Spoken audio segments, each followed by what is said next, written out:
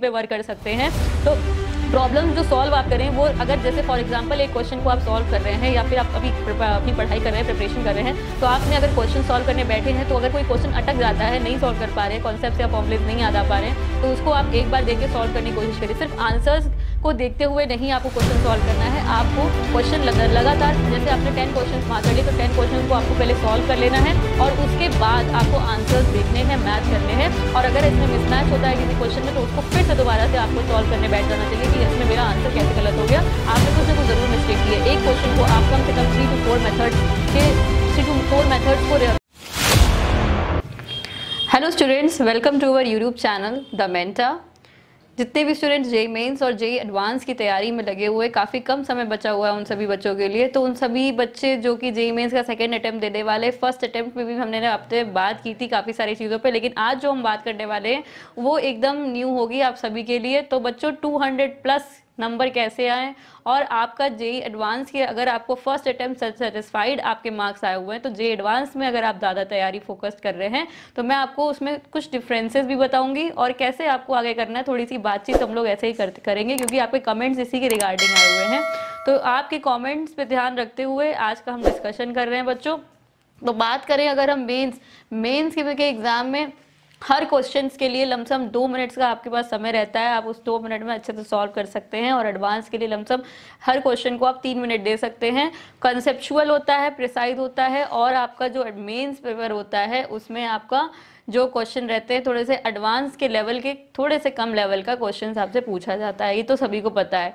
तो भाई mains crack कर लिया कट ऑफ़ क्लियर कर लिया, तब हमें एडवांस की तैयारी करनी है और उन पंद्रह बच्चों के अंदर अपनी रैंक लेके आनी, जिससे कि आपको आई में सिलेक्शन मिल पाए और जेई मेन्स में भी आपको इतनी अच्छी रैंक लेके आनी कि हमें टॉप के एन मिल सके। तो बच्चों, जो हम बात कर रहे हैं इस बारे में तो मैं, जो आपकी मेन्स है, वो आपको problem solving it in a minimum time सिखाता है और जो आपका एडवांस है वो आपका कंसेप्चुअल बेस में रहता है। आपके कंसेप्ट कितने ज़्यादा क्लियर है क्लैरिटी है उनमें तो उसके लिए आपको एडवांस का पेपर का, आपको एडवांस के पेपर को क्लियर करना रहता है। बात करें अगर हम प्रैक्टिस के किसको कितने ज़्यादा प्रैक्टिस में हमें ध्यान देना है तो मेन्स हमारा प्रैक्टिस बेस्ड रहता है ऑलमोस्ट और जो एडवांस रहता है हमारा लॉजिक और आइडिया जनरेशन के बेसिस में आपके क्वेश्चंस पूछे जाते हैं। ये काफ़ी इंपॉर्टेंट और महत्वपूर्ण पॉइंट है। और जितने भी मैंने रिव्यूज़ लिए हैं, जब भी मैं एग्ज़ाम सेंटर में जाके आपको रिव्यूज़ मैंने दिए होंगे बच्चों के तो पहले बात जो बच्चों ने कही होगी कि भाई फॉर्मूलेज बहुत अच्छे से याद करना। तो फॉर्मूला बेस्ड बहुत सारे क्वेश्चंस आते हैं और जितने भी आपके थोरेटिकल क्वेश्चन होंगे या जितने भी लेंदी क्वेश्चन होंगे, उसमें भी आपको फॉर्मूले के आधार पर ही वो क्वेश्चन को सॉल्व करने रहता है। तो इसको रेगुलरली याद करना है। एटलीस्ट हर वीक एक बार आपको सारे फॉर्मुलाइज एक दिन के लिए रखने चाहिए और वो आपको सारे रिवाइज कर देने चाहिए। इससे बहुत अच्छा स्कोर आपका इंक्रीज हो सकता है। काफ़ी सारी चीज़ें हैं जो आप इंक्रीमेंट अपने मार्क्स में ला सकते हैं इस सेशन के पेपर में और ऑल्सो इन एडवांस एग्ज़ाम तो हम बात करें मोस्ट क्वेश्चन जो होते हैं वो डायरेक्टली फॉर्मूला बेस्ड रहते हैं तो आप इसको क्लियर कर सकते हैं आराम से। और मेन्स में जो फोकस रहना चाहिए आपका बेटा एक्यूरेसी लेवल आपकी बहुत अच्छी होनी चाहिए। उस एक्यूरेसी लेवल को अगर आपने अपने ठीक कर लिया तो आगे फिर देन हम स्पीड पे वर्क कर सकते हैं।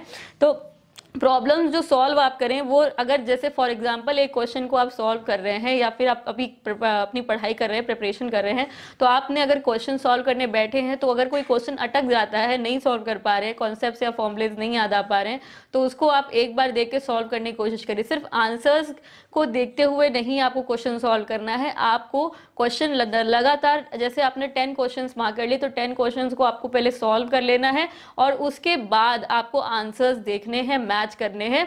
और अगर इसमें मिसमैच होता है किसी क्वेश्चन में तो उसको फिर से दोबारा से आपको सॉल्व करने बैठ जाना चाहिए कि इसमें मेरा आंसर कैसे गलत हो गया।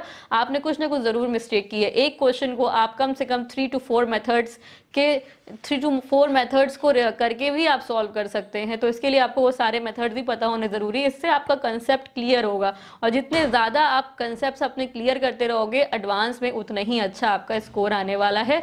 और एडवांस में अगर अच्छा स्कोर आ जाएगा तो सीधी सी बात है, आप आई तक पहुँच जाएँगे आराम से। Good accuracy and good speed will make your advance also clear ठीक है बच्चों? और सॉल्विंग ऐसे ही करनी है जैसा कि मैंने अभी आपको बताया है कि क्वेश्चंस को लग जाना है ध्यान से, अपने टीचर से डिस्कस करिए या फिर अपने किसी जो आपके फ्रेंड में अगर आपको लगता है कि हाँ इस बंदे को बहुत अच्छे से आती है कंसेप्ट क्लियर है तो आप उससे भी पूछ सकते हैं। कुछ भी ऐसा चीज़ नहीं है, अपनी ग्रुप स्टडी भी स्ट्रांग रखिए। ग्रुप स्टडी से बहुत इफ़ेक्ट पड़ता है। अपनी अपनी कमियों को आप देख सकते हो कि आपसे क्या नहीं हो रहा है और उसके लिए आप टीचर से संपर्क करिए। अगर आप ऑनलाइन लाइव लेक्चर्स किसी कोचिंग इंस्टीट्यूट से आप ले रहे हैं तो वहाँ पे भी सुविधा होती है कि आप टीचर से अपना संपर्क करके उस क्वेश्चन को सॉल्व आउट करें। तो आप पूछने में जब भी आपको लगे कि पूछ नहीं पा रहे हैं तो प्लीज़ आप डिस्कस कीजिए। फ्रेंड से भी कर सकते हैं और टीचर से भी कर सकते हैं। उसमें कोई हेजिटेशन नहीं होना चाहिए। बहुत हेजिटेट करते हैं बच्चे क्वेश्चन पूछने के लिए तो ऐसा बिल्कुल भी नहीं होना चाहिए। थ्री टाइम्स कम से कम एक क्वेश्चन को सॉल्व करने की कोशिश ज़रूर करिए। अगर नहीं आपसे लग रहा है तो फोर्थ टाइम पे आप अपने टीचर से डिस्कस कर सकते हैं कि मैम ये हमसे क्वेश्चन नहीं लग रहा है। ठीक है? और बात करें एग्ज़ाम के अलावा, आपके जो रूटीन है, जो आपकी स्टडी का रूटीन है, वो आपका बहुत अच्छा होना चाहिए। मॉर्निंग से लेकर नाइट तक की जो आप स्लीप लेते हैं स्लीप में भी आपकी कम से कम छः से सात घंटे की स्लीप आवर्स होने ज़रूरी है। और सेल्फ स्टडी कम से कम फोर टू फाइव आवर्स आपकी सेल्फ स्टडी रोज़ होना बहुत ज़रूरी है, क्योंकि सेल्फ स्टडी से ही आपको मोटिवेशन मिलेगा। एग्ज़ाम में जब आप बैठेंगे तो आपको सेल्फ स्टडी काफ़ी ज़्यादा देखेंगे तो हेल्प हेल्पफुल रहेगी। और कोचिंग्स अगर आपने कोई ज्वाइन करी है, आप लेक्चर्स लेते हैं तो उसके अपार्ट भी फोर टू फाइव आवर की मैं बात कर रही हूँ, जो आपको अपनी स्टडीज़ में देना ही पड़ेगा। अगर आपको क्रैक करना है, बहुत ज़्यादा टाइम अब बचा नहीं है, बहुत कम समय बचा हुआ है और इसको हमें यूटिलाइज करना है बच्चों। तो आपको जो भी हम काउंसलिंग्स के वीडियोस देते हैं, वो एक सेपरेट चीज़ है, उसको आप देखते रहिएगा। लेकिन जो मैं आज आपको टिप्स बता रही हूँ, इस वीडियो को पूरा एंड तक देखना बहुत ही इंपॉर्टेंट चीज़ें मैंने आज डिस्कस की हैं, जो कि कोई भी बच्चों आपको नहीं बताने वाला है। आप कितनी भी वीडियोज़ देख लें मोटिवेशन की, कितने भी आप अपने, कितने भी आप चैनल्स पे चले जाएँ या फिर कितने भी आप कोरा पे पढ़ें या कहीं पे भी आप पढ़ते हो विकीपीडिया पे आप देखते हो तो सब जगह यही बात होगी कि आप जो तरीका है क्वेश्चंस का सॉल्व करने का, जो पैटर्न है स्टडी के टाइम पे आपको कैसे उसको तैयारी करनी क्योंकि मैंने भी प्रिपरेशन की हुई है तो मैं आपको बहुत अच्छे से बता सकती हूँ कि कैसे आप प्रिपेयर करें और कैसे आप क्वेश्चंस को क्वेश्चंस को सॉल्व करते हुए आंसर्स परफेक्टली लेके एक्यूरेसी मैं फिर कहूँगी बहुत ज़्यादा इंपॉर्टेंट मैटर करती है। अभी मैंने कुछ दिन पहले एक बच्चे का फ़ोन आया, उसने अपना रिज़ल्ट भेजा और उसने पूछा कि, मैम, मैंने तो इतने क्वेश्चन सॉल्व किए थे और मेरे इतने करेक्ट हैं।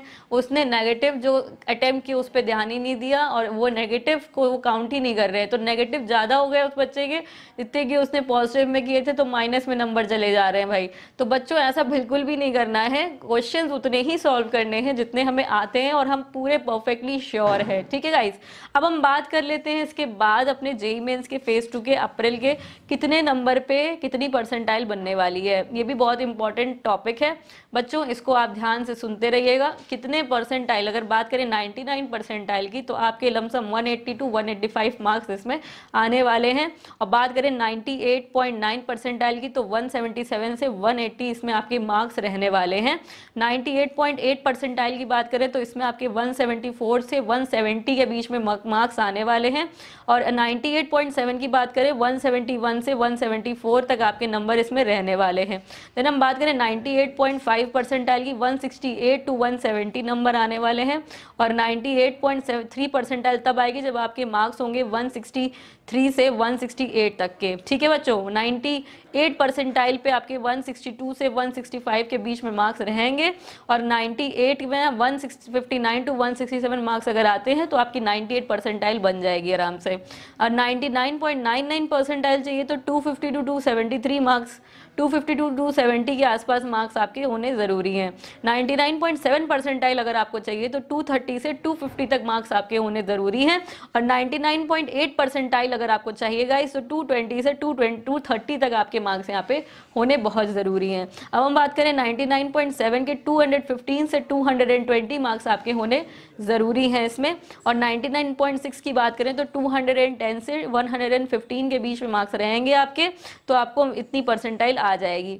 नेक्स्ट हम बात करें 99.5 परसेंटाइल की तो 205 टू 200 210 के बीच में आपके नंबर होने ज़रूरी हैं। देन 99.4 के बीच में 200 से 205 के बीच में मार्क्स आने चाहिए। एंड 99.3 परसेंटाइल है तो 195 से 200 तक आपके मार्क्स होने ज़रूरी हैं। अगर हम बात करें 99.1 परसेंटाइल की 99.1 तो 185 टू 190 मार्क्स होने ज़रूरी हैं। और 99 परसेंटाइल चाहिए तो आपको 180 टू 185 अभी मैंने आपको स्टार्टिंग में ही बता दिया था कि आपको इतने परसेंटाइल चाहिए रहेंगे। तो बच्चों, ये आपका रहा रैंक। रैंक इसमें अब आप निकाल सकते हैं आराम से। परसेंटाइल अगर पता चल गई और मार्क्स इतने आने वाले हैं तो आपको इसमें मेंस में आपके इतनी परसेंटाइल बन जाएगी। तो फ़ेज़ टू अप्रैल का जो आपका मेंस का एग्ज़ाम होने वाला है, उसके लिए सबसे पहले हमारी टीम द मेंटा की तरफ़ से आपको वेरी बेस्ट ऑफ़ लक आप बहुत अच्छे से तैयारी करें और अपने अच्छे मार्क्स लेके आएँ। जो आपका जनवरी अटैम्प्ट किया था, उससे बेटर आपका ये अटैम्प्ट होना ज़रूरी है। हम कोशिश लगातार कर रहे हैं कि आपको जितनी भी हम हेल्प कर सकें, आपको इन्फॉर्मेशन दे सकें, क्योंकि आपको हेल्प की भी बहुत ज़्यादा नीड पड़ने वाली है। आपकी मेल्स और व्हाट्सएप के मैसेजेस को हम लगातार देखते हैं और आपको आंसर करने की पूरी कोशिश करते हैं। आप ऐसे ही मेंटा को सब्सक्राइब करके रखना और जितने बच्चों तक अभी वीडियोस नहीं पहुँची तो प्लीज़ उनको भी शेयर ज़रूर करिएगा। हम लोग बहुत मोटिवेट होते हैं, तभी हम आपको और मोटिवेशन के लिए वीडियोस आपके लिए ला सकते हैं। So students thank you very much for watching this video and see you soon with the next topic comment कर देना। अगर आपको कोई ऐसा टॉपिक पे वीडियो चाहिए तो please do comment we will be making a short video और we will help you out in that topic thank you guys